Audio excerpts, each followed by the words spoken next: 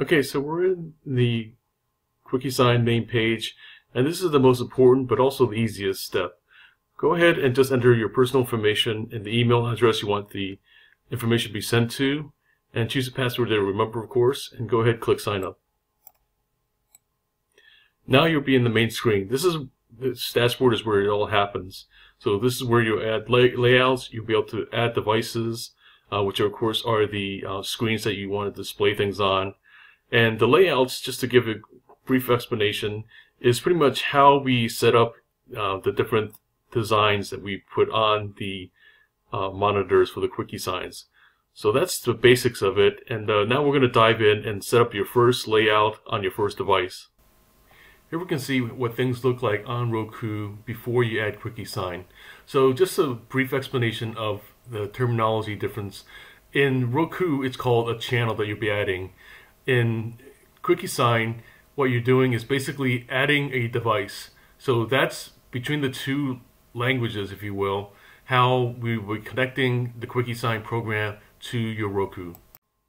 Okay, so the first thing I want to do is to add the device. This is basically how we're going to connect your television and Roku system to the Quickesign. So what we'll do here is click Add New Device. Next, what we want to do is connect the actual channel to the device. And what we'll do is, in this case, we'll click on the Roku channel. And you should be logged in. You'll get this kind of warning that says it's a non-certified channel. It's really nothing to worry about, of course.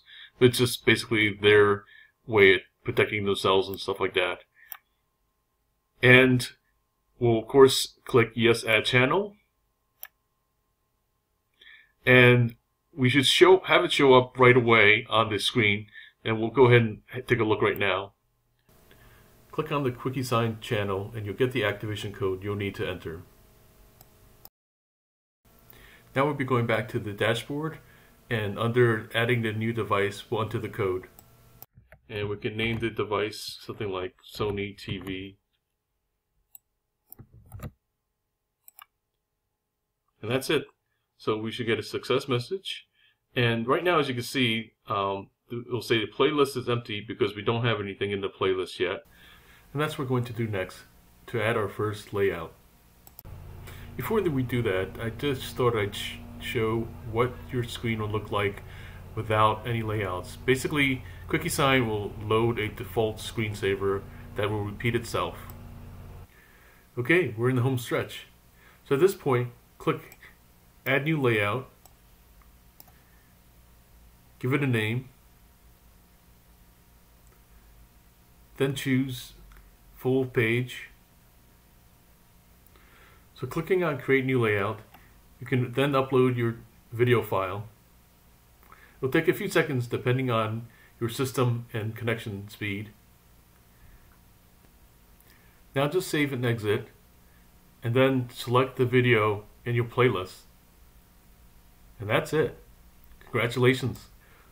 So in future videos, we'll cover such things as creating different slideshows or operating different zones, which is basically controlling different devices. So thanks for watching, and we welcome you to the Quickesign community.